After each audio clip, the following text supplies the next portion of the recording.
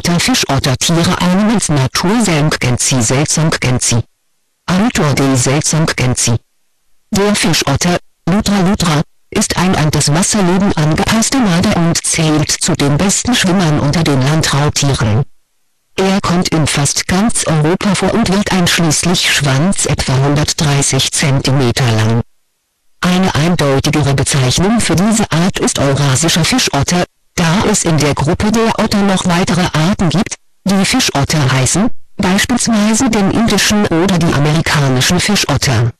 Der Fischotter hat eine Kopfrumpflänge von bis zu 90 cm, hinzu kommen 40 cm Schwanz. Der im Querschnitt rundliche und muskulöse Schwanz ist der längste Schwanz innerhalb der Familie der Marder. Er dient dem Fischotter als Steuer- und Stabilisierungsorgan.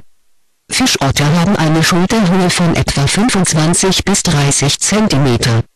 Ausgewachsene Fischotter können ein Körpergewicht bis zu 12 kg erreichen. Im Schnitt wiegen die Weibchen etwa 7,4 und Männchen 10,5 kg. Der Körper ist gestreckt und walzenförmig und die Beine sind kurz. Der Kopf ist rundlich und stumpfschnauzig, und an der Schnauze befinden sich lange Testhaare, die ein wichtiges Sinnesorgan in trübem Wasser darstellen